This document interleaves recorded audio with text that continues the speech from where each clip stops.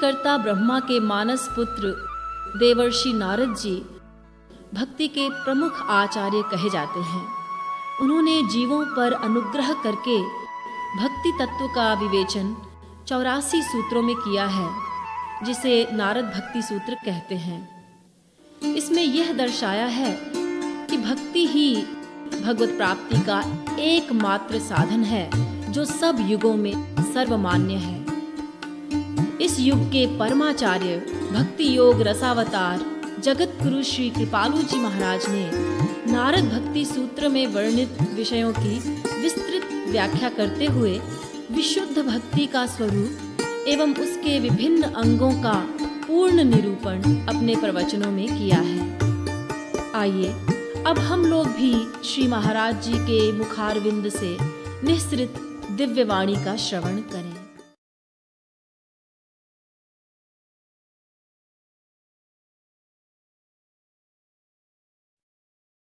नारद भक्ति दर्शन के भक्ति सूत्रों के द्वारा नारद जी ने भक्ति की परिभाषा की कि नारदस्तु तदर्पिता खिलाचारता तद विस्मरणे परम व्याकुलता। अर्थात अपने समस्त आचरण, क्रियाएँ, चेष्टाएँ श्री कृष्ण को अर्पित करना, प्लस उनके विस्मरण में परम व्याकुल हो जाना। अर्थात निरंतर स्मरण करना। और इस परिभाषा में उन्होंने एग्ज़ाम्पल दी यथा ब्रज गोपिका नाम। देखिए, नारद जी कितने धीरे धीरे लक्ष्य पर जा रहे हैं।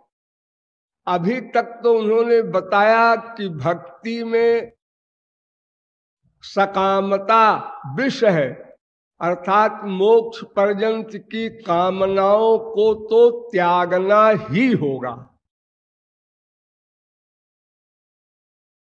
यानी निष्काम भक्ति करना है।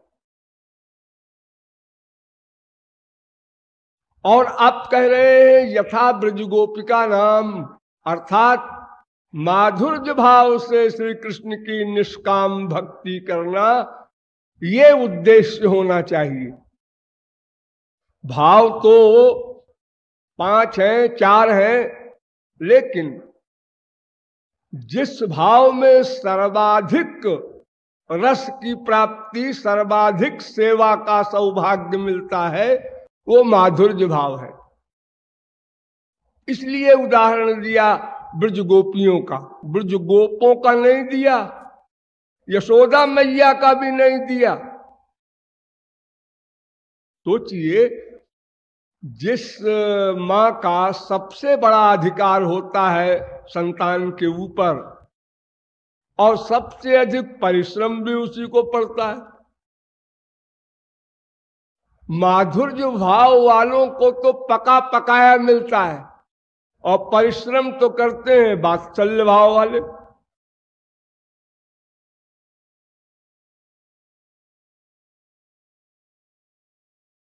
एक रसिक ने कहा है कि किमपि फलम देव की फलति? तत्पालयति यशोदा प्रकाम मुपभुंजते गोप्य। एक रस का फल। नारद जी आगे कहेंगे, फल रूपत्वात। ये भक्ति फल है। स्वयं फल रूपते ब्रह्म कुमारा दो सूत्र बनाया नारद जी ने। वो सब आगे विषय है। तो फल दिया देवकी ने। उनके सामने प्रकट हुए थे ना। उस फल को पाला पोसा यशोदा ने। ये बात चल भाव। ऐश्वर्य प्लस माधुर्य युक्त बात्सल्य भाव देवकी में था और केवल माधुर्य रस युक्त वात्सल्य भाव यशोदा मैया में था। उस फल में गुठली नहीं है, छिलका नहीं है। उस फल में रस ही रस है और कुछ है ही नहीं। तो यशोदा मैया ने पाल पोस के बड़ा किया और माधुर्य भाव वालों को पका पकाया। जब वो मिल गया तो उन्होंने रसपान किया। प्रकामम उपभुंजते। तो ब्रज गोपियाँ माधुर्य भाव की थी, निष्काम प्रेम युक्ता थी, इसलिए उनका उदाहरण दिया गया। लेकिन जैसा मैंने पहले बताया कि डाउट ये पैदा हुआ कि न तत्रापि महात्म ज्ञान विस्मृत अपवाद। अर्थात नारद जी कह रहे हैं कि गोपियों को महात्म ज्ञान था या नहीं था? दोनों बातें लिखी हैं। दोनों बातें हुई हैं। किसको सही माना जाए? तो नारद जी ने कहा, नहीं, उनको महात्म ज्ञान था। वो जानती थी श्री कृष्ण ब्रह्म है। लेकिन जो जार भाव से प्यार करती थी, पर पुरुष के समान, जैसे कोई विवाहिता स्त्री पर पुरुष से चोरी चोरी प्यार करे, वो जार प्रेम है।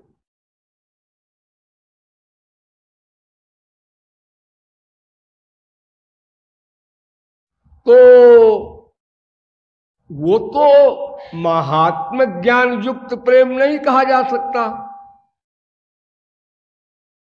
हाँ।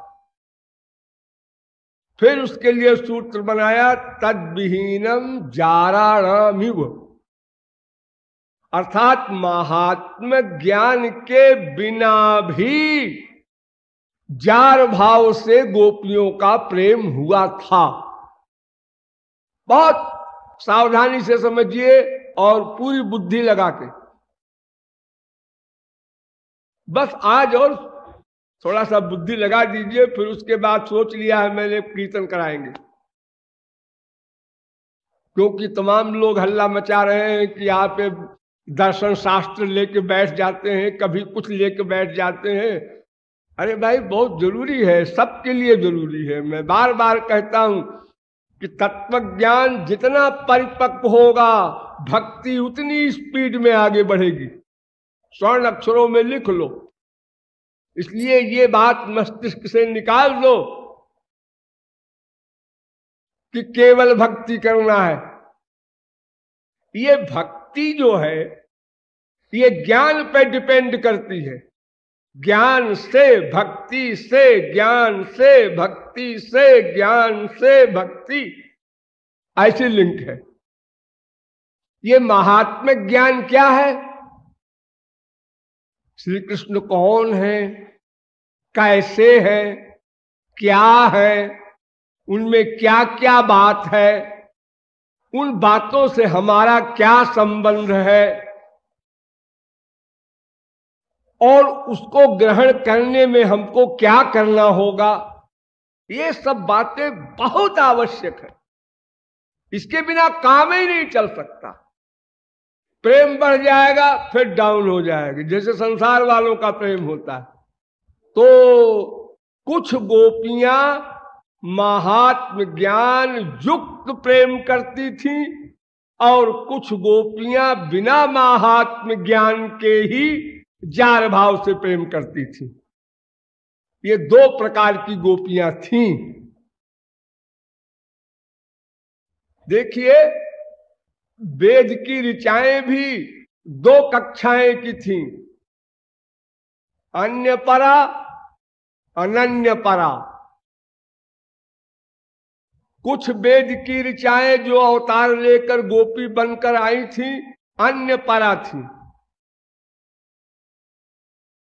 यानी संसार को दिखाने के लिए ब्याह हुआ है। लेकिन सेंट परसेंट शरणागति श्री कृष्ण के प्रति है। ये अन्य परा है, जैसे इंद्रो या तो वसित राजा वेद की ऋचा। इसमें इंद्र शब्द बोला जा रहा है, इंद्र शब्द। श्री कृष्ण नहीं, ब्रह्म नहीं, राम नहीं नाम ले रहे हैं इंद्र का, लेकिन उनके इंद्र शब्द का अर्थ है श्री कृष्ण एक बार श्री कृष्ण गोपी बनकर गए किशोरी जी के पास, और श्री कृष्ण की बुराई प्रारंभ कर दी पहुँचते ही। एक नंद का लड़का है, अभी मैं आ रही थी तो मुझको छेड़खानी किया और सारे ब्रज में हर एक से कहता फिरता है, तू ही मेरी सब कुछ है। और प्रेम किसी से नहीं करता है, बड़ा धूर्त है, चार सौ बीस है। और सुना है कि तुम भी प्यार करती हो तो मैंने कहा कि मैं अपना अनुभव बता दूँ और मैं तमाम सखियों से मिल के आ रही हूँ, इसलिए तुम उसके चक्कर में ना पड़ो। अभी अच्छा है। ये ठाकुर जी ने लेक्चर दे मारा लंबा चौड़ा। तो किशोरी जी ने मुस्कुरा कर कहा, अरे सखी, तू भोली भाली है, तू नहीं जानती। उनका कितना प्यार है हमसे, ये मैं जानती हूँ। क्या जानती हो तुम? देखो, वहाँ वहाँ घूमता फिरता है, वहाँ वहाँ और सखियों के यहाँ जाता है, तुम्हारे यहाँ आया नहीं, तीन दिन हो गए। अरे सखी, वो इसीलिए ऐसा करते हैं कि हमारे प्रेम को वो छुपाना चाहते हैं। इसलिए औरों से हंस हंस कर बोलते हैं कि लोगों को ये पता चले कि इन लोगों से इनका प्यार है और हमारे प्यार को वो छुपाए रहते हैं। प्रेम छुपाने की चीज़ है। गोपनीयम गोपनीयम गोपनीयम प्रयत्न। तो ठाकुर जी मुँह लटका के, यानी वो गोपी रूप में जो गए थे, उन्होंने कहा, दाल नहीं गलेगी यहाँ अबाउट टर्न कोई मार्च लौट गए।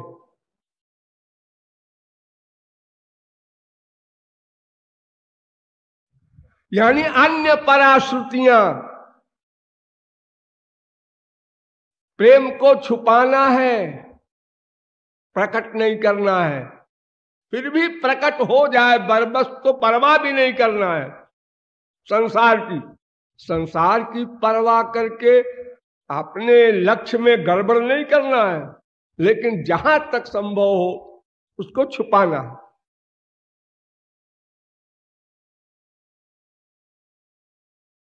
अरे, चंद्रावली ने तो एक बार हद कर दिया। भादो सुदी चौथ को चंद्रमा पूजने जा रही थी। भादो सुदी चौथ का चंद्रमा देखना नहीं चाहिए। ऐसा कर्मकांड का सिद्धांत है, अन्यथा झूठा ही कलंक लग जाता है उसको। उसके करेक्टर पर ज़बरदस्ती लोग आक्षेप कर देते हैं। अगर उस दिन की चंद्रमा को कोई देख ले तो नारद जी अचानक उसी दिन ब्रज में आए और देखा कि ये चंद्रावली सब सामान वामान लेके जा रही है रात को कहा? मैं कहा कहा जा रही हूँ भाई? जा रही हूँ चंद्रमा की पूजा करने। क्यों? चंद्रमा की पूजा आज? अरे, आज चतुर्थी है भादो शुक्ल पक्ष की। आज तो चंद्रमा को देखना भी नहीं चाहिए। और तू पूजा करेगी अर्घ देगी उनको। हाँ हाँ मुझे मालूम है बाबा जी मालूम भी है, तब भी जा रही है। हाँ अजीब बात है। किसी को मालूम हो कि इस जगह शेर चीते सब रहते हैं और फिर भी उसी रास्ते से जाए? ऐसा तो कोई समझदार नहीं करेगा। अरे बाबा जी तुम तो बाबा जी हो। तुम, हम लोगों की बात नहीं समझ सकते। मैं इसलिए चंद्रमा को पूजा करने जा रही हूँ और देखने जा रही हूँ कि झूठा कलंक लगे।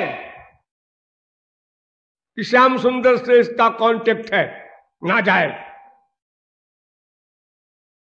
अरे तो ये कोई अच्छी बात है? क्या करें, वो कई दिन से आए नहीं, अब हमसे विरक्त हो गए हैं, प्यार नहीं करते तो कम से कम लोग तो नाम रखेंगे हमारे साथ उनका जुड़ा रहे, इसी में हमारा सौभाग्य हमारा नाम तो लोग लेंगे लोग श्री कृष्ण के साथ। जब झूठा कलंक लगेगा तो उसका मतलब यही तो हुआ। ये ब्रज गोपियों का प्यार इतना विचित्र है कि दो दो साइड में चलता है। इधर भी इधर भी। श्याम सुंदर के शरीर के रंग के सारे सामान प्रयोग करेगी। गोपियाँ, शरीर के रंग का। श्रवसो, कुबलय, मक्षणो, रंजन, मुरसो, महेंद्र, मणिधाम, वृंदावन, तरुणी नाम मंडल मखिलम, हरिर्जयति। कान में नीले कमल का कुंडल, नीले कमल का, क्योंकि श्याम सुंदर के शरीर का वो रंग है। अक्षणों रंजन, आँख में अंजन लगाएँगी नीले रंग का। और इंद्र नील मणि की का माला पहनेंगी गले में, वो भी नीले रंग का।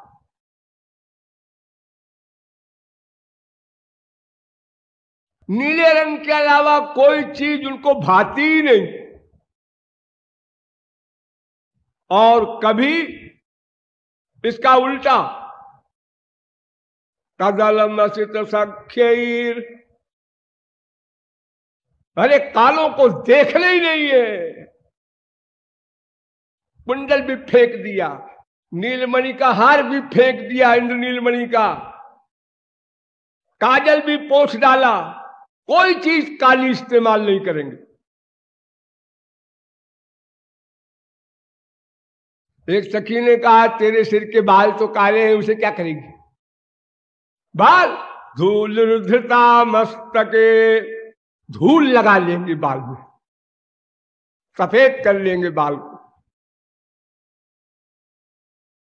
ये दो विरोधी बातें गोपियों में है, इसलिए जैसे भगवान समझ में किसी के नहीं आते, ऐसे ही गोपी प्रेम भी किसी की समझ में नहीं आ सकता। तो अन्य पराश्रुतियाँ, और एक होती है अनन्य पराश्रुतियाँ। देखो, ब्रज में आप लोगों में जिन लोगों ने रास देखा हो तो एक होती है अभिसार लीला, एक होती है छद्म लीला। दो प्रकार की लीला, वहाँ रास लीला होती है जो बच्चे करते हैं आजकल। तो अभिसार लीला में तो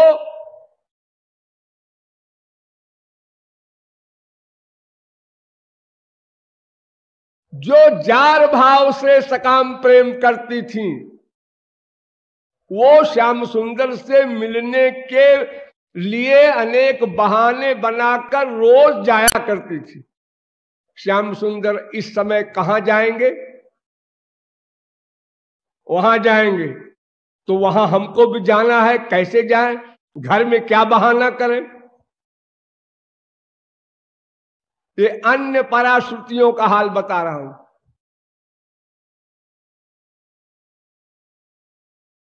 विक्रेतु कामाखिल गोप कन्या मुरारी पादार्पित चित्त वृत्ति दध्यादिक गोविंद दामोदर माधवेति दही बेचने जा रही है। हाँ हाँ। हमारी बहू बहुत अच्छी है। इसको सब फ़िक्र रहता है। देखो जल्दी जल्दी सब घर का काम करके और जल्दी तैयार होके।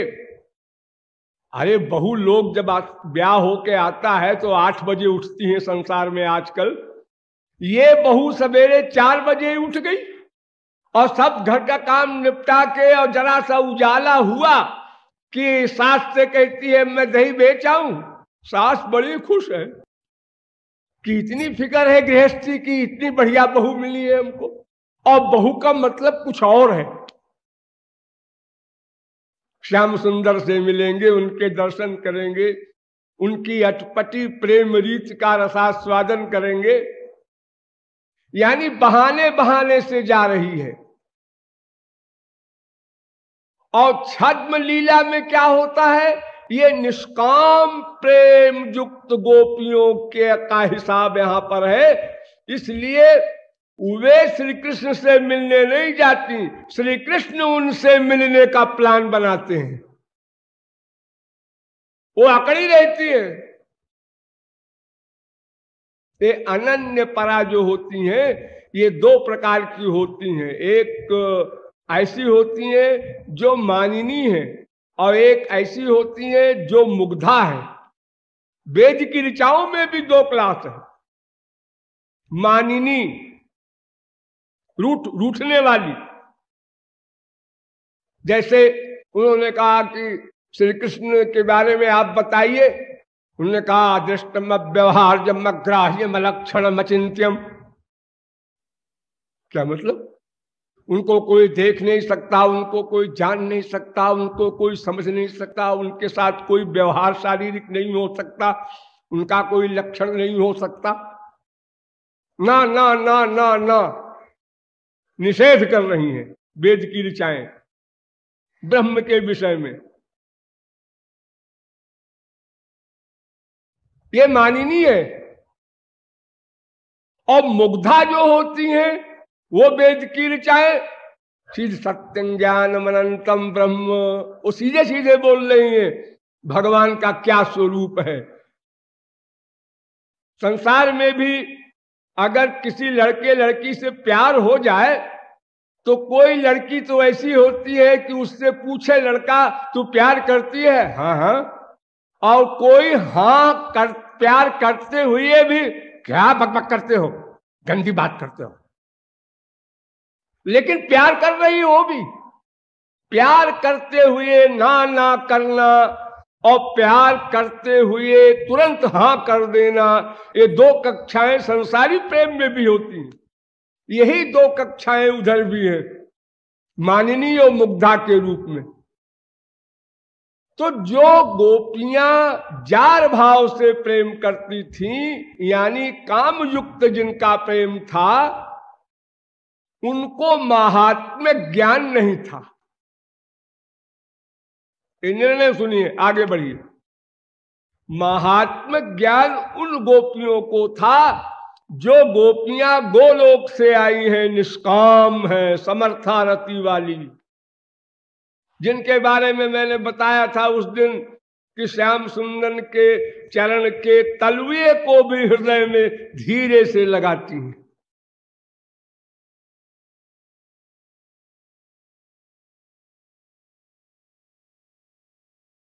तो समर्थारति वाली निष्काम गोपियों को महात्म ज्ञान था, लेकिन नहीं था।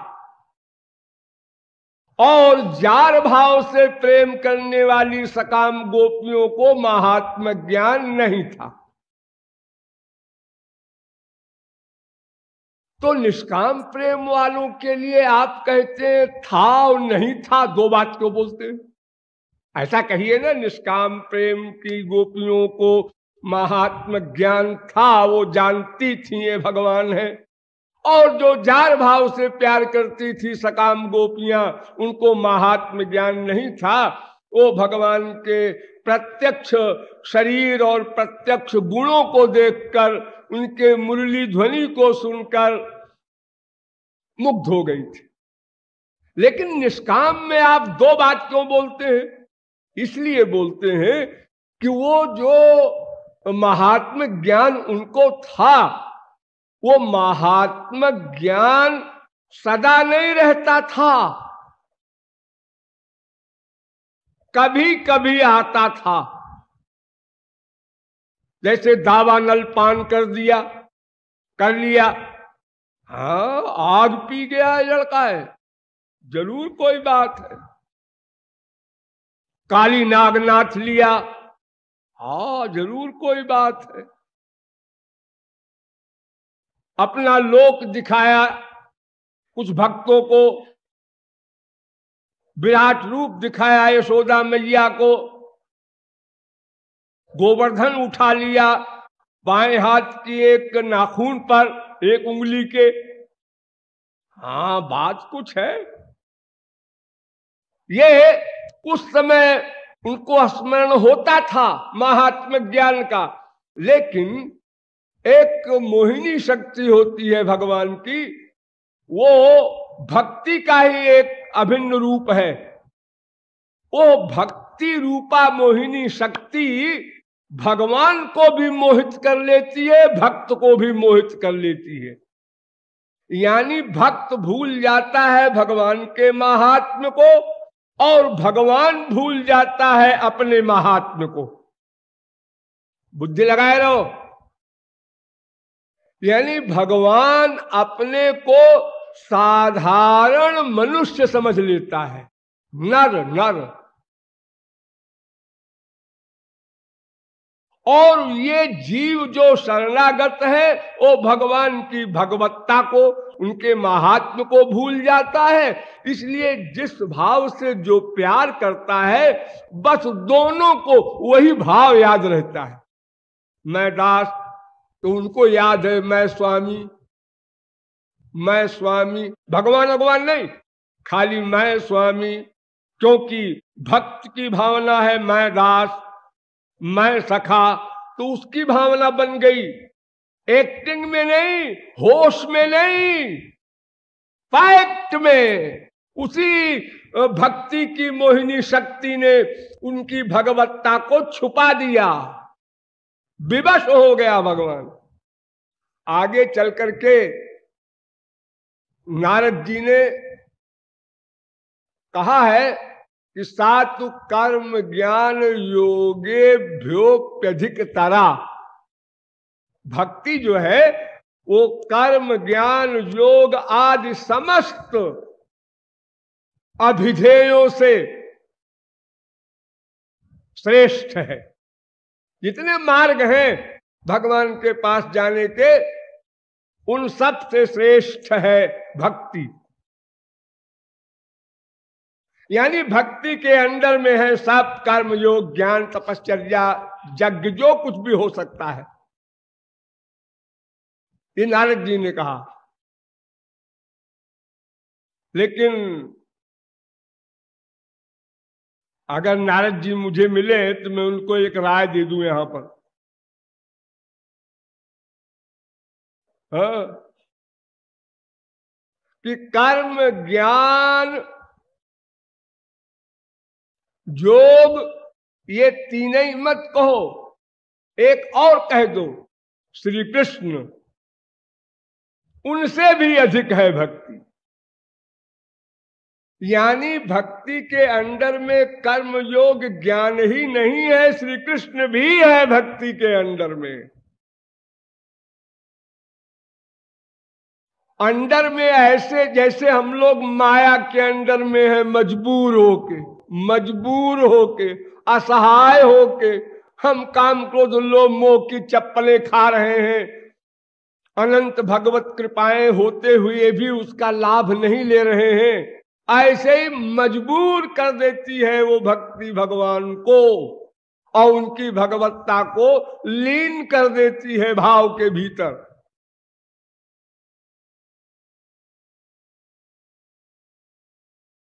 अहम भक्त पराधीन स्वयं भगवान कह रहे हैं। यह स्वतंत्र।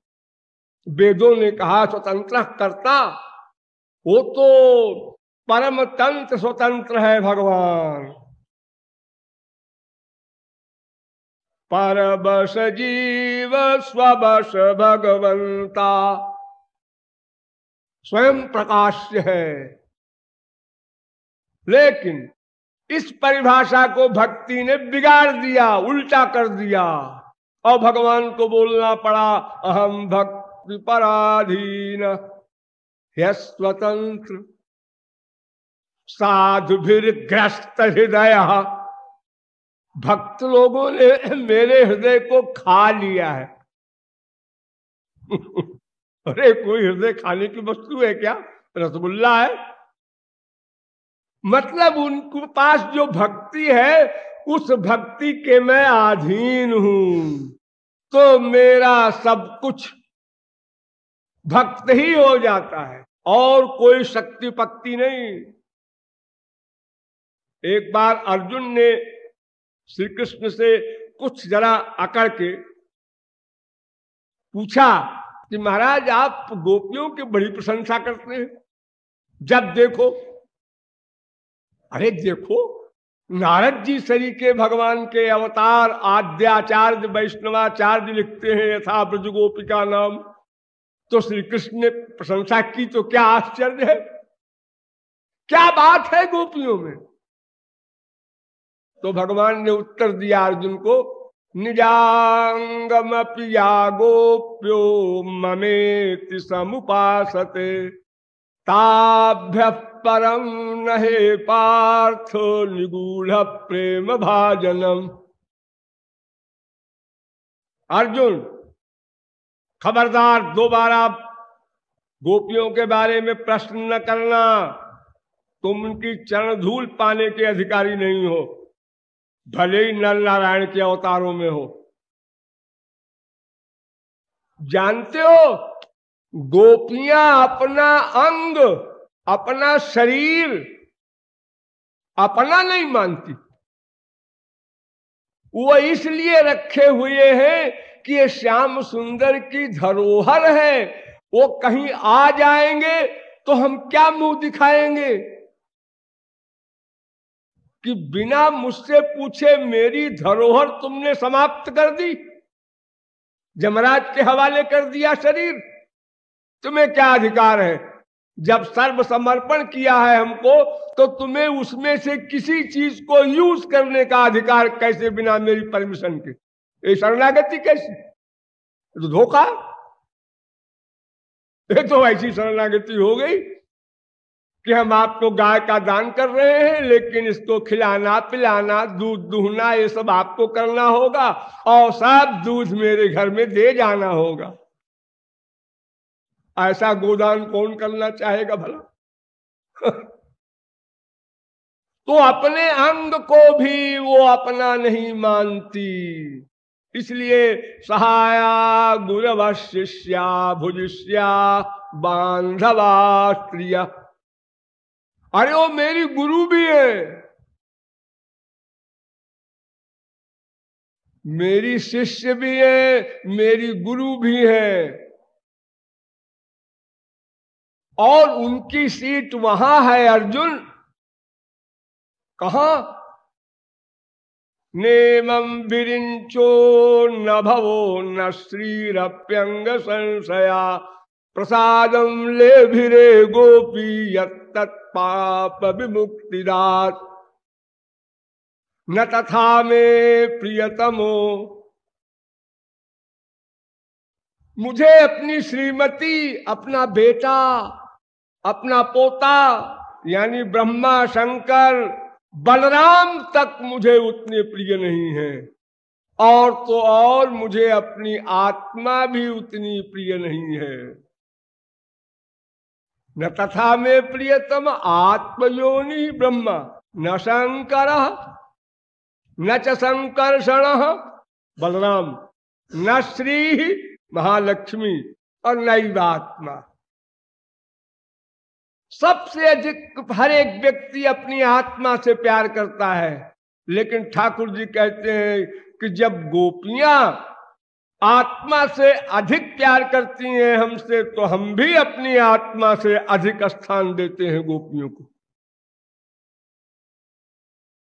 तो गोपियों को महात्म ज्ञान होते हुए भी नहीं था, क्योंकि अगर महात्म ज्ञान सदा रहता तो फिर कोई लीला ही न होती, फिर तो ठाकुर जी को सिंहासन पर बिठा करके आरती किया करती गोपियाँ, और मंत्र बोला करती सहस्री रखा पुरुषाक्षा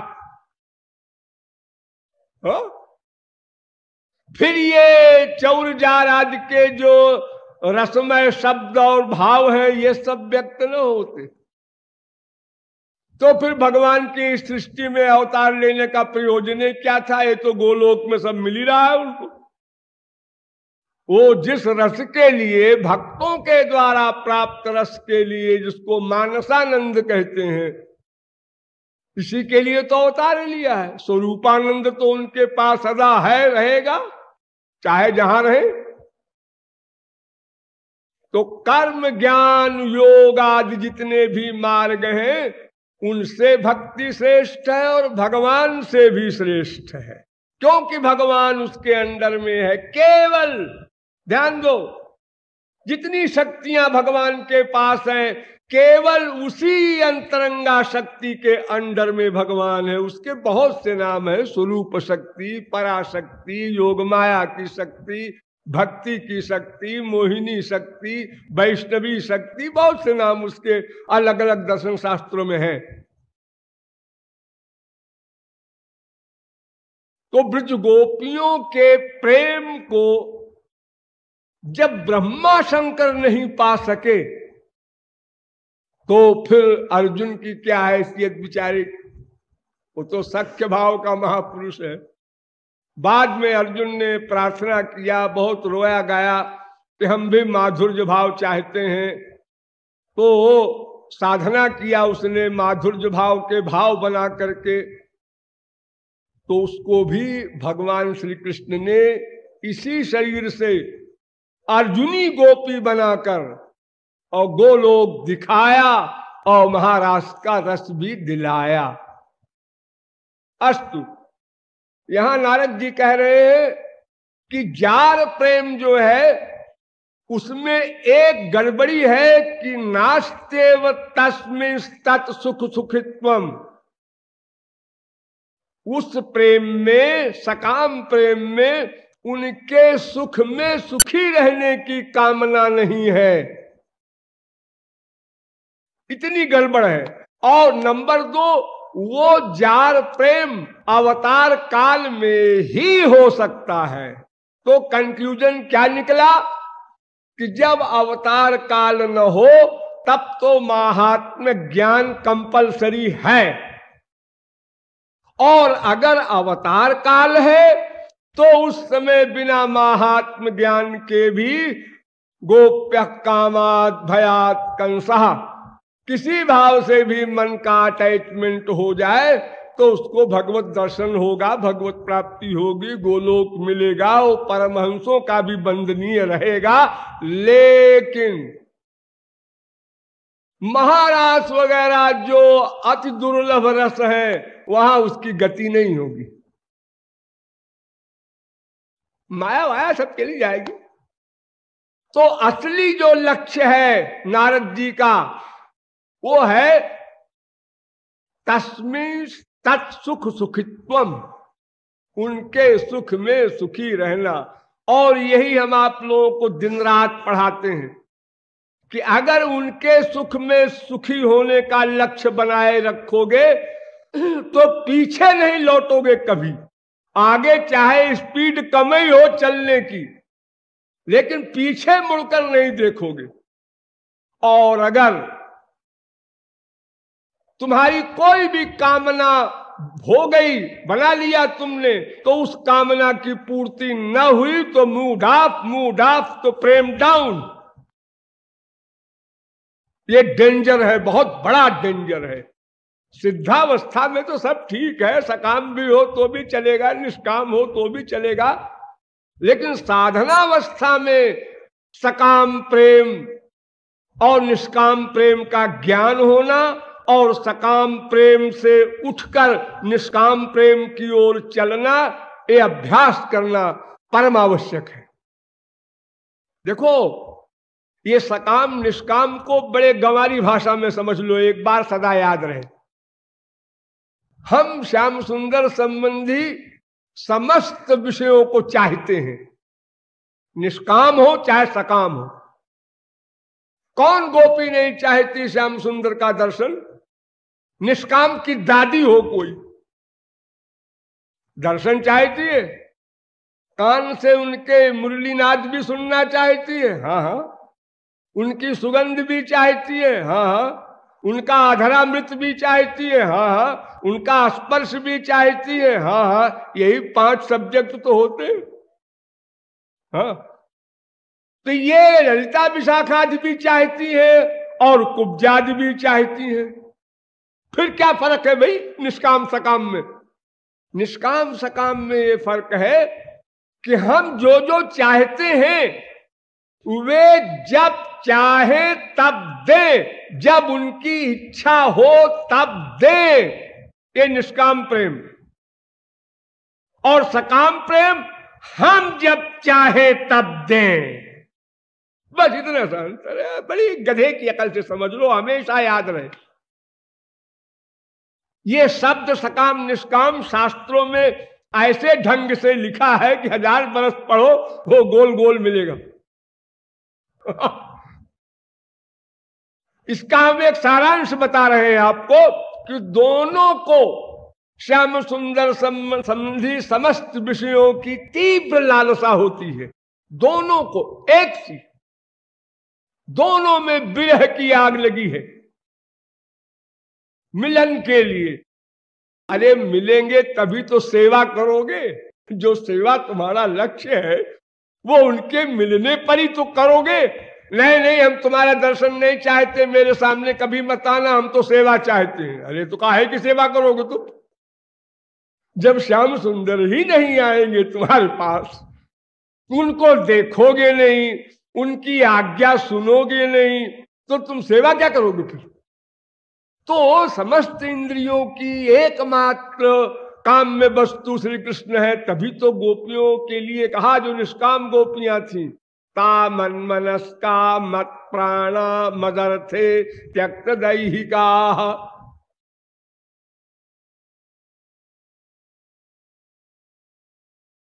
अरे एक क्षण त्रुटिर जुगायते त्वाम ये निष्काम गोपियाँ कह रही तो हमारी सब इंद्रियों की कामना श्याम सुंदर के प्रति होनी चाहिए तीव्र से तीव्र बढ़ाते जाना चाहिए। लेकिन वे हमको, हमारी इंद्रियों को, वो दर्शन आदि का सुख कब देंगे, वो जब ठीक समझेंगे। हम नहीं समझ सकते। कभी वियोग देने में भक्त या शिष्य का कल्याण है, कभी संजोग देने में उसका कल्याण है। ये तो वही समझ सकते हैं, हमारी बुद्धि वहाँ तक नहीं जा सकती। लक्ष्मण को साथ ले लिया, भरत को कह दिया, जाओ। ये वही समझ सकते हैं, इन सब बारीक बातों को, गोपियों को छोड़कर ठाठ से बैठे हैं द्वारिका में। जो सेकंड क्लास के महापुरुष हैं, उनके पास बैठे हैं समंजसा रति वालों के पास समर्थारती वालों को छोड़ करके। क्यों? मत पूछो क्यों क्यों क्यों? ये क्यों का प्रश्न माइक जगत में होता है। ईश्वरीय जगत में क्यों पूछना गलत, उत्तर देना और गलत? एक गधा, एक घोड़ गधा, जो उत्तर देने बैठते हैं। आप लोग प्रश्न करते हैं तमाम पंडितों से, महात्माओं से, कथावाचकों से, और वो उत्तर देने बैठते हैं। उनको स्वयं को पता नहीं क्या उत्तर देंगे। और उत्तर कोई सही भी दे दे तो आपकी समझने की शक्ति नहीं है। आपकी शक्ति नहीं है समझने की। कि एक पुरुष है, एक स्त्री है, पुरुष स्त्री से विषय भोग करता है। उसके वीर जो रज से मिलकर बच्चा पैदा होता है, लेकिन उस पुरुष को काम भाव नहीं है।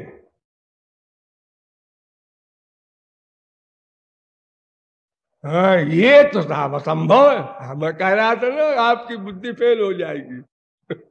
ए प्रहलाद महापुरुष है, भगवत प्राप्ति पहले कर चुका है, ध्रुव महापुरुष है। इतिहास में जो ऐतिहासिक, अनादि महापुरुष माने जाते हैं, हर अवतार में ये प्रहलाद आते हैं।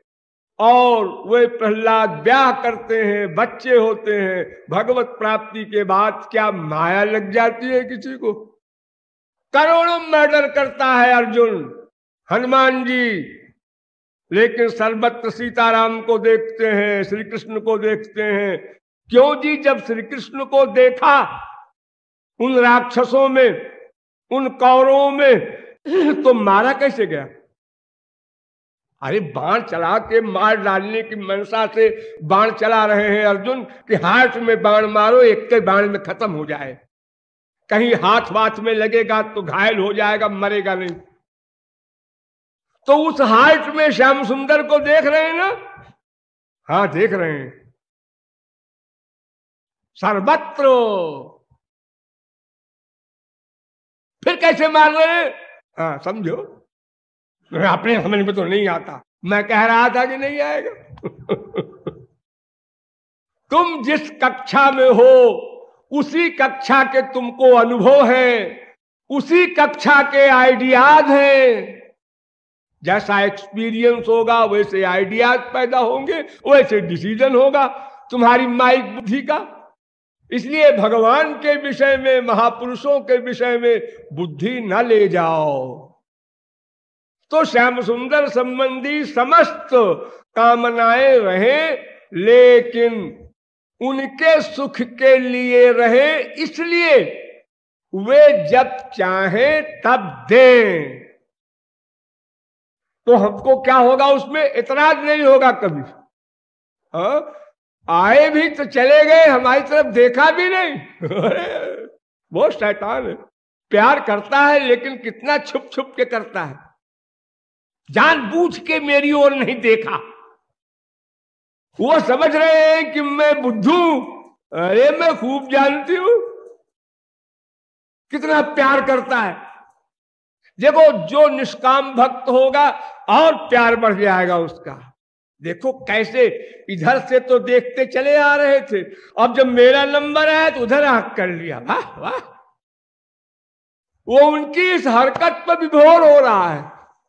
लेकिन अगर सकाम कोई है हाँ मैं दुश्मन हूँ। ठीक है, जब तुमको पसंद नहीं तो मैं भी फिर संसार में जा रही हूँ। मैं ब्याह कर लूँगी संसार में, मरूँगी संसार में, न कहीं मिलेगा, और क्या होगा? लो। चले गए। हज़ारों मील पीछे। इसलिए नारद जी कहते हैं कि भाई, जो उनके सुख में सुखी होने का जो सिद्धांत है, वो जार प्रेम में नहीं है, लेकिन वो भी तब होता है जब वस्तु सामने हो। और हमेशा कहा, धरे हैं भगवान, कि आप जार प्रेम करते बैठेंगे उनसे। और अगर जार प्रेम में परिपक्वता नहीं आई तो श्री कृष्ण से भी अबाउट टर्न हो जाओगे, सब कुछ मिलके भी छिन जाएगा। इसलिए ये सिद्धांत याद रखो कि महात्मा ज्ञान परमावश्यक है। फिर चाहे सकाम प्रेम हो, चाहे निष्काम हो देखो, महात्मा ज्ञान होने में और सकाम प्रेम कर रहा है। तो एक फ़ायदा है कि अगर गड़बड़ हुई, कोई हमारी इच्छा पूर्ति नहीं किया हमारे इष्ट देव ने तो फिर वो महात्मा ज्ञान काम दे देगा। अरे अरे अरे, वो ऐसा है कि वो, उनकी तो अटपटी रीत है। हाँ प्यार करते हुए भी उदासीन व्यवहार कर सकते हैं, प्यार करते हुए भी विपरीत व्यवहार कर सकते हैं। यहाँ तक कर सकते हैं उल्टा। ये जब सिद्धांत ज्ञान होता है तो सकाम प्रेम में जब गड़बड़ करने लगती है बुद्धि तो वो संभाल लेता है। महात्मा ज्ञान। क्योंकि वो बाहर से नहीं देखता। संसारी प्रेम क्यों टिकाऊ नहीं होता? क्योंकि वो बाहर के रूप से प्यार करता है, भीतर नहीं देखता। तो बाहर के रूप में जरा भी गड़बड़ हुई, प्यार डाउन हो गया। वाक्य ही एक भयंकर बोल दे, संसार का प्रेमी। वो भी सहन नहीं। एक वाक्य से तो ऐसी भक्ति, यानी महात्म ज्ञान युक्त भक्ति, अब महात्म ज्ञान में दो बातें हैं। ऐश्वर्य संबंधी महात्म ज्ञान माधुर्य संबंधी महात्म ज्ञान यानी उनमें अवगुण कुछ नहीं है और अनंत गुण भरे हैं। ये दोनों ज्ञान चाहिए। अनंत कल्याण गुणात्मको सब और ऐसे ऐसे गुण हैं, जिन गुणों का चिंतन करते ही बरबस जीव सरेंडर कर दे। जैसे सुखदेव परमहंस ने किया कि पूतना को अपना लोक दे दिया। सर्वांतरजामी होते हुए भी उसके आइडियाज़ खराब थे, उसको नहीं नोट किया या नोट करके उसको छोड़ दिया? इतनी कृपा है, कृपा। एक कृपा एक शब्द ऐसा है जिसके आधार पर हम भगवान की ओर चलते हैं। जितनी रियलाइजेशन हमारी होगी कृपा की, उतने हम तेज बढ़ेंगे। यद्यपि हम रियलाइज़ कर नहीं सकते, इतनी कृपा है उनकी। अरे हमारा जीवन भी उन्हीं से है। हम जो जीव हैं, चैतन्यता प्राप्त कर रहे हैं। इतरे न तो जीवन वेद कहता है, वो ब्रह्म जो श्री कृष्ण है, उन्हीं से तो जीव का जीवन है। चेतन चेतना नाम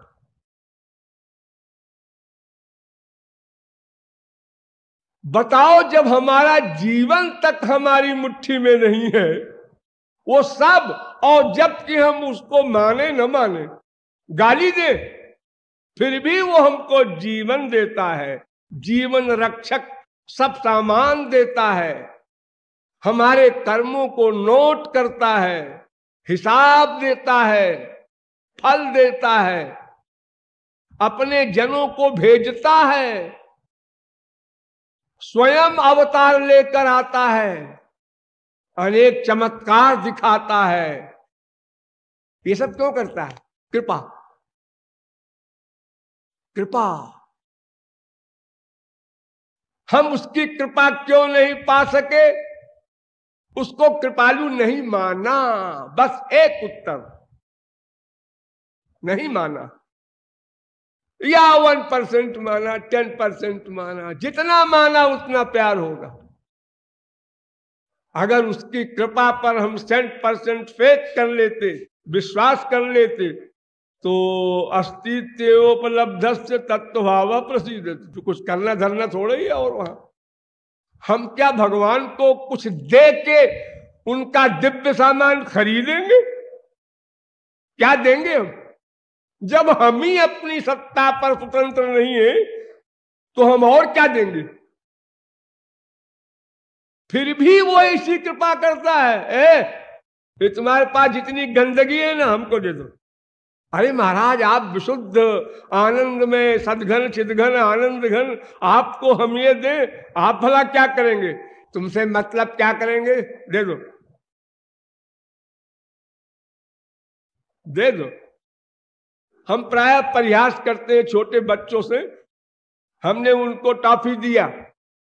या किसी और ने दिया दोनों हाथ में टॉफी लिए है बच्चा और मैं हाथ फैलाता हूँ बेटा हमको भी दे दो हम्म।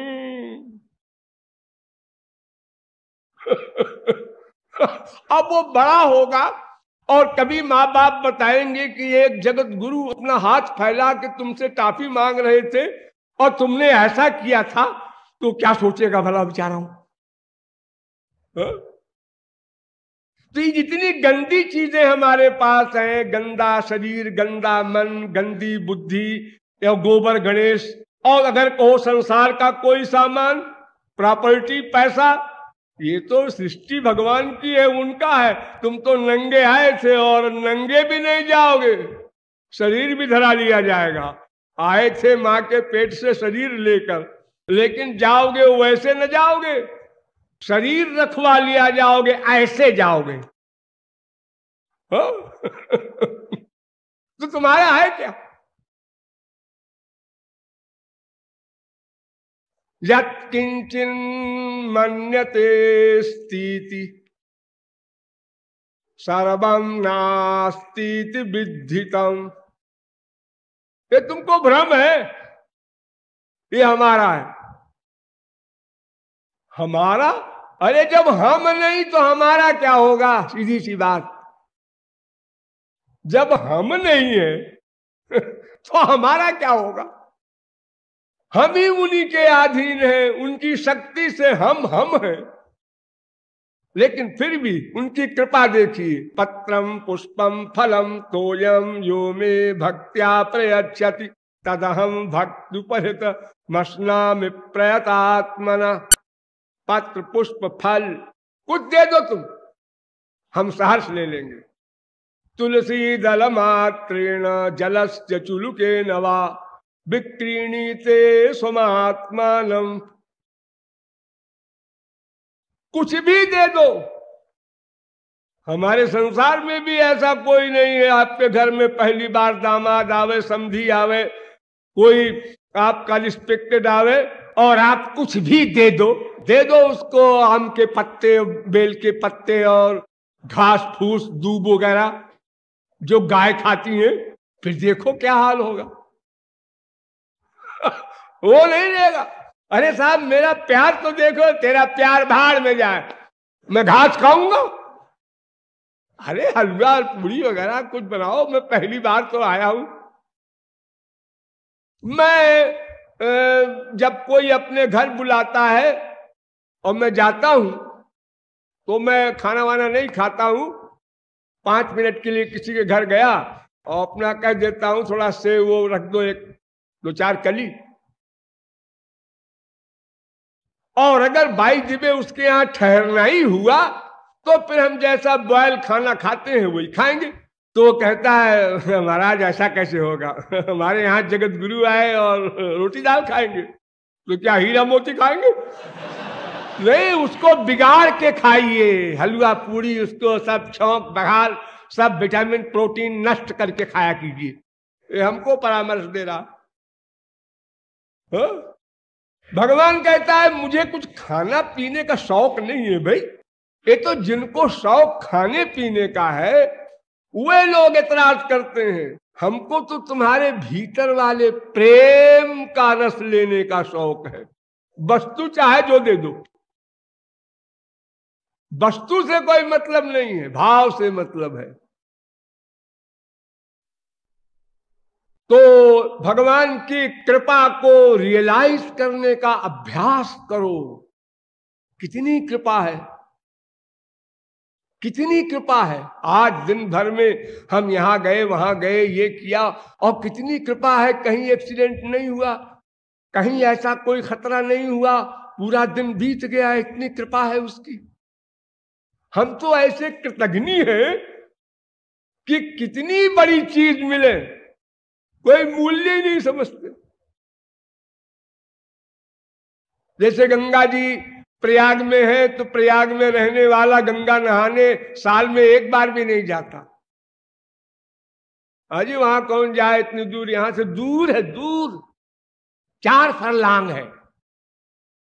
अजी इंग्लैंड, अमेरिका और बंबई, कलकत्ता से आने वाले तो नहा रहे हैं और तुमको चार फरलांग बोल रहे हो। उसका महत्व नहीं समझता। मैं जो आप लोगों को ये समझाता हूँ एक घंटे, इसका मूल्य भी आप लोगों में से कोई नहीं समझता, एक भी नहीं समझता। वरना पागल हो जाए वो खुशी में, क्या मिल रहा है करोड़ों कल्प शास्त्र वेद के अध्ययन से जो न मिलता, वो बैठे बैठे फ्री में मिल रहा है इसे। ये कौन सी भगवत कृपा हो रही मेरे ऊपर, और क्यों हो रही है, मैंने किया क्या है इस जीवन में?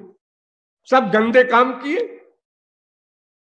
सब इंद्रियों के सुख के लिए सामान इकट्ठे करने का, सब चार सौ बीस उसी का प्लान उसी की प्रैक्टिस की।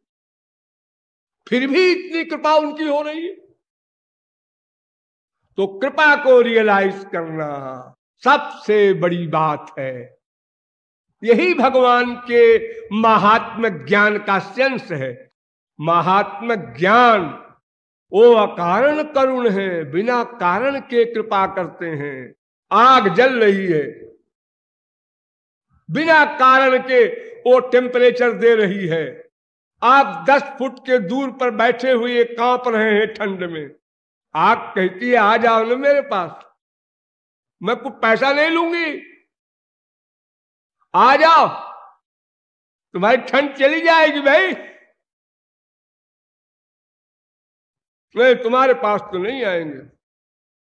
ठंड में ठुठुरते रहेंगे, तुम्हारे पास नहीं आएँगे। अनंत जीवों को हमने आत्मसमर्पण किया, माँ को, बाप को, बेटे को, बीबी को, पति को, हर जन्म में किया। खाली महापुरुषों भगवान के शरणागत नहीं हुए, वहाँ प्रतिज्ञा किए हैं कि तुम दोनों की शरण में नहीं जाएँगे, बाकी गधों के पास जाने में हमें कोई लज्जा नहीं। इतना दुराग्रह है। अन्यथा क्या बात? क्या मानते हैं भगवान? तमेव शरण गच्छ, तत्प्रसादात मामेकम शरणम ब्रज अहम ताम सर्वपापेभ्यो मोक्षयिष्यामि। अनन्याश्चिंतो माम तो फिर योगक्षेम भाम्य हम ये तो सर्वाणी कर्माणी जो समुद्धरता संसार भव सागरा वो तो हर जगह प्रतिज्ञा कर रहे हैं। केवल हम उसको माने। तो नारद जी कहते हैं कि ये महात्म ज्ञान परमावश्यक है और जब अवतार नहीं है, तब तो बहुत ही आवश्यक है। इसलिए महात्म ज्ञान हो, फिर भक्ति हो। देखो, नंबर एक, महात्म ज्ञान। नंबर दो, भक्ति। कौन सा विश्व में ऐसा भक्त भक्ति कर सकता है कि भगवान को जाने न, कोई महापुरुष बतावे न भक्ति करने लग जाए। उसे क्या मालूम है किसकी भक्ति करना है, क्या बलाय है भक्ति? तो महात्म ज्ञान हुआ नंबर एक, भक्ति नंबर दो, तब फिर भक्ति जब करने लगा तो जनयत्याशु वैराग्यम ज्ञान यद तुकम फिर भक्ति से ज्ञान हुआ। और जो भक्ति से ज्ञान हुआ तो और भक्ति हुई, फिर और ज्ञान हुआ, फिर और भक्ति हुई। इस प्रकार बढ़ते बढ़ते अंत में भक्ति ही रह जाएगी, परिपूर्ण अवस्था में ज्ञान का लय हो जाएगा। इसलिए कर्म, योग, ज्ञान सबसे श्रेष्ठ बताई गई भक्ति। तपस्विभ्योधिको योगी ज्ञानीभ्योपि मतोधिका कर्मिभ्यधिको योगी, तस्माद योगी भवार्जुन, योगी नाम सर्वेशा मदगतेनातरात्मना श्रद्धावान भजते जो माम। कर्मियों से, तपस्वियों से, ज्ञानियों से, योगियों से सबसे श्रेष्ठतर है भक्ति। भक्ति के बिना कोई कर्म, धर्म, योग, ज्ञान कुछ भी हो। नमाम साधयति। परम ज्ञानी बन जाएगा, उसकी पहचान क्या? उतनी तेज, उच्च कोटि का भक्त होना चाहिए। अगर भक्ति नहीं करता है और कहता है, मैं ज्ञानी हूँ तो वो पागल खाने वाला ज्ञानी है। थ्योरिटिकल ज्ञानी है, ज्ञानाभिमानी है। ऐसे ज्ञानाभिमानियों के लिए तो ये रविंदाक्ष विमुक्त मालिन वो श्री कृष्ण भक्ति और श्री कृष्ण का सम्मान नहीं कर रहा है, इसलिए आरुह्य कृष्ण परम पदम गिर जाता है। परत खगेशन ला गई बारा। आधार नहीं है बेचारे के पास। निराधार कोई भी नहीं रह सकता। तो कर्म का आधार भक्ति, ज्ञान का आधार भक्ति, योग का आधार भक्ति। क्योंकि माया निवृत्ति बिना भक्ति के हो ही नहीं सकती।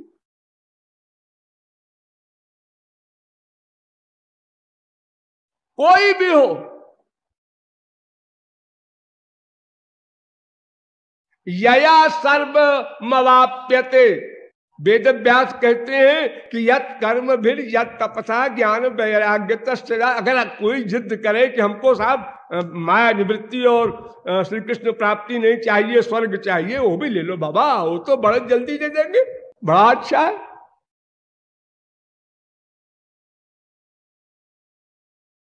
वो तो पहले देने को तैयार है काक भुजुंडी मांगू बर अणिमाधिक सिद्धि, अपर निधि मोक्ष साफ़ दे देंगे। जितनी छोटी चीज़ मांगो, दानी को देने में उतने आराम है, उसको क्या प्रॉब्लम है? स्वर्ग तो छोटी चीज़ है ना।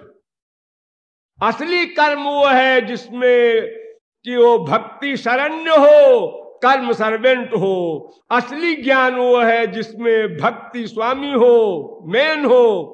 और ज्ञान सर्वेंट हो।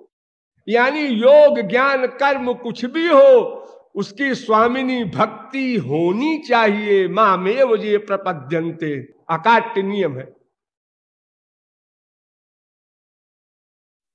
इसीलिए मधुसूदन सरस्वती सरीखे अद्वैत वेदांती भी एडमिट करते हैं कि कर्म गुह्य है, ज्ञान गुह्यतर है। और भक्ति गुह्यतम है।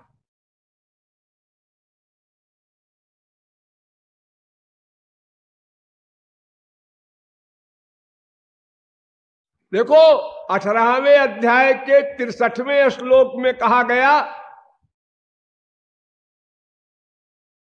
कि ज्ञान जो है इदम ते ज्ञानमाख्यातम गुह्यात गुह्य तरम मया। यहाँ तरम शब्द का प्रयोग किया भगवान ने। यानी गुप्त से अधिक गुप्त ज्ञान के लिए कहा। और उसके बाद सर्वगुह्यतम भूया। चौसठवें श्लोक में ये कहा, अठारहवें अध्याय के। सबसे गुप्त बात सुन। वो क्या बात? मन मना भो मत भक्तो, मत जाजी, माम नमस्कुर। इसका अर्थ भी किया मधुसूदन सरस्वती ने, नवधा भक्ति करो श्री कृष्ण की। ये सबसे प्राइवेट, ये गुह्यतम सिद्धांत है। और इसके बाद थोड़ा उसको धुक धुक हो रही थी अर्जुन को कि वो कहते हैं, तमेव शरण उसकी शरण में जाओ, उसकी उसकी, किसकी? कुछ कंफ्यूज हो रहा था तो भगवान ने कहा अच्छा सुन सर्वधर्मान परित्यज में कम शरणम ब्रज तो उसकी और इसकी मत जा मेरी शरण में आ जा सीधे सीधे छुट्टी मिली। मैंने तो आपको गुरु बनाया है महाराज, शिष्यस्ते हम साधिमाम ताम प्रपन्नम। हा हा तो गुरु की शरण में आ जा तो भी वही लक्ष्य प्राप्त होगा। तेरा बुद्धि लगाना बंद हो जाए, बस इतनी कृपा कर। तो इसके बाद फिर उसी अध्याय में संदेह गया। अब तो खोल खोल कर कह दिया, मेरी शरण में आ जा, ऐसा कोई गुरु कहेगा? सब गुरु कहेंगे, भगवान की शरण में जाओ। अरे, स्वयं कह रहा हूँ। हा, नष्टो मोहा स्मृति लब्धा तो कोई भी ज्ञानी हो, सबसे बड़ा ज्ञानी होता है। एक कर्मी वर्मी तो सब ऐसे सड़े गले होते हैं, इनकी गिनती कहाँ की जाए? लेकिन सर्वविद भजत इमाम सर्वभावे न भारत। इस गीता वाक्य पर भी मधुसूदन सरस्वती ने भाष्य किया कि जो प्रेम पूर्ण भक्ति है, वो पूर्ण ज्ञानी होने के बाद और बलवान होकर आएगी, उसको आना पड़ेगा। अगर नहीं आती है तो ज्ञानी फैनी नहीं, धोखा है उसको। मुगालते में है कि मैं ज्ञानी हूँ। अरे, ऐसे तो सभी ज्ञानी थियरी में हो सकते हैं। क्या ज्ञान में कोई थियरी नहीं है लंबी चौड़ी? आसी। तू ब्रह्म है और एंड अहम ब्रह्मास्मि। बस हो गया, और ज्ञान में कुछ नहीं। क्योंकि उसका न नाम है, न रूप है, न गुण है, न लीला है, न परिभाषा है। अनिर्वचनीय अनिर्वचनीय। सब अनिर्वचनीय, संसार अनिर्वचनीय, माया अनिर्वचनीय, ब्रह्म अनिर्वचनीय। हो गया ज्ञान, पूरा हो गया। अनिर्वचनीय माने क्या? बताया नहीं जा सकता, बताया नहीं जा सकता। तो पूछे क्यों जाए फिर? क्या बताया नहीं जा सकता? सगुण साकार में तो इतने महात्म्य है अनंत गुण है, एक एक गुण की परिभाषा करो तो अनंत काल तक भी समाप्त न होंगे। हाँ वो बेचारा निर्गुण, निर्विशेष, निराकार ब्रह्म। हाँ? एक रसिक कहता है कि प्रसादो निष्फलो जस्य क्रोधश्चापि निरर्थक। न तम भरतारमिच्छन्ति संडम पतिमिव स्त्रिया। कोई स्त्री विषय सुख चाहती है, पुत्र चाहती है, ये दो एम से ब्याह करती है। और ब्याह होने जा रहा है, और उसको मालूम हो जाए कि जिससे ब्याह होने जा रहा है, वो नपुंसक है, प्लीब है। तो भला क्यों ब्याह करेगी पागल है, दिमाग खराब हो संडम माने नपुंसक, पातिमी व स्त्री वो स्त्री उसको पति नहीं बनाएगी। तो उसी प्रकार कोई भी जीव ऐसे ब्रह्म को क्या इष्ट देव बनावे कि प्रसादो निष्फलो जस्य, अक्रोधश्चापि निरर्थका। न वो कृपा कर सकता है, न कोप कर सकता है। अरे कोप ही कर दे और मार दे तो भी जीव कल्याण हो जाए। श्री कृष्ण ने जिस जिसको मारा कल्याण हो गया ना वो कोप भी नहीं कर सकता और कृपा भी नहीं कर सकता। शंकराचार्य ने कहा था ना, उदासीन स्तब्धा। तो इसलिए उससे हम माया निवृत्ति कराएँगे कैसे? इसलिए ज्ञानी को भी आना पड़ता है भक्ति की शरण में, तब भगवान अपनी कृपा से ज्ञान भी देते हैं। ते, तेसा उन लोगों के अनुकंपा करके कृपा करके ज्ञान देते हैं। और माया निवृत्ति भी करा देते हैं। और जो शरणागत नहीं होगा भक्ति की शरण में नहीं आएगा वो बस कुछ दूर जाएगा फिर अधा पतन फिर उठा फिर अधा पतन यही हुआ करेगा। आप लोगों ने देखा होगा ये चींटियाँ कुछ सामान खाने का अपने बच्चों के लिए ले जाती हैं। जैसे चना है, कोई लावा है, कोई अनाज है, उसको बड़ा सा मुँह में पकड़ के मुँह से और दीवार पर चढ़ती हैं, थोड़ी दूर चढ़ती हैं, फिर गिर पड़ती हैं। लेकिन बार बार बार बार ऐसे ही करती हैं। कहत कठिन, समझत कठिन, साधन कठिन विवेक। हाँ तो अब आप लोग समझ गए होंगे कि वो भक्ति भगवान से भी बड़ी है। उसके बिना कोई कर्मी ज्ञानी अपने लक्ष्य को नहीं प्राप्त कर सकता। लेकिन हमको निष्कामता पर ही विशेष ध्यान देना है। महात्म ज्ञान युक्त भक्ति पर ऐसी भक्ति अगर हम करेंगे तो अंतकरण की शुद्धि होगी। फिर गुरु कृपा से दिव्य प्रेम मिलकर हम अपने अनंत कालीन भविष्य को आनंदमय, सुखमय बना सकेंगे। शेष फिर कभी बोलिए, वृंदावन बिहारी लाल की।